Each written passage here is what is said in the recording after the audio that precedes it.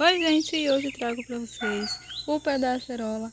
Essa planta tem várias vitaminas e as folhas do pé da acerola têm ação antioxidante, anti-inflamatória e antiviral.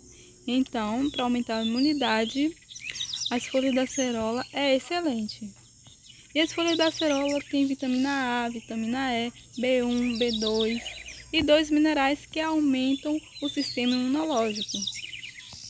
O chá das folhas de acerola aumenta o colágeno, ela rejuvenesce a pele. Então, para quem está querendo né, ficar com a pele mais jovem, mais saudável, consuma o, as folhas da acerola. As folhas da acerola também cortam o apetite e aceleram o metabolismo, ou seja, ajuda a emagrecer. Para o tratamento da diabetes, o chá das folhas da acerola diminui os níveis de açúcar no sangue, é uma ótima aliada para remover gordura no fígado. Se você tiver problemas de estresse, tome o chá dessas folhas, melhora também a saúde da visão.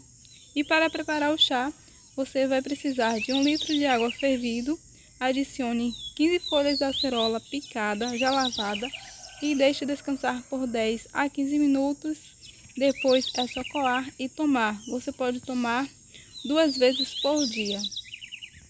Então, gente, esse foi o vídeo de hoje. Espero que vocês tenham gostado. E já deixa o joinha. Até o próximo vídeo.